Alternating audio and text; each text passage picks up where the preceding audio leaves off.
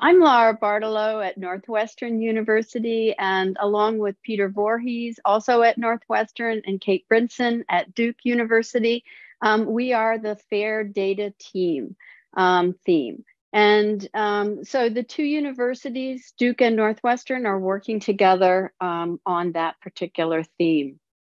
Um, as the image shows, and as we've heard from this meeting um, over the past couple of days, there are significant material data challenges. Um, there is significant amount of data being generated by electron microscopy.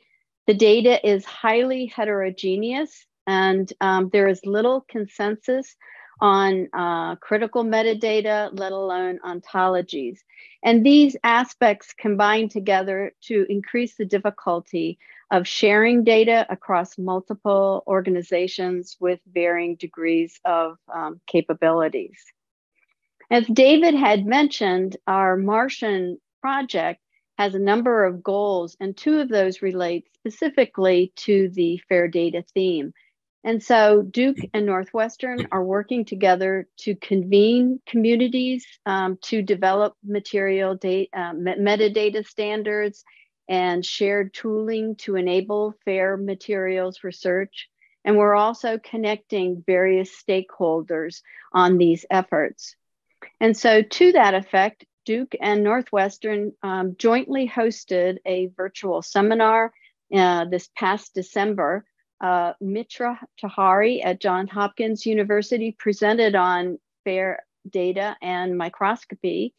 And June Lau at NIST, who presented the first day of this MaRDA meeting, um, gave a presentation, electron microscopy uh, data facility data management, uh, and the Nexus LIMS uh, system. And so we're now moving into where we are connecting groups together. And so uh, Duke and uh, Northwestern are launching two new MaRDA working groups. These uh, will uh, have a 18 month life cycle and one will be on microscopy, the other one as will be on LIMS. Um, each of these working groups will have two co-chairs um, and they will be recognized MSE leaders and then um, experts in the field as members of the uh, working group. We'll have one uh, face-to-face uh, meeting um, at Northwestern this time, and then there'll be about four remote working um, meetings where the uh, working group will come together um, to finalize and then release both a draft and final community recommendations.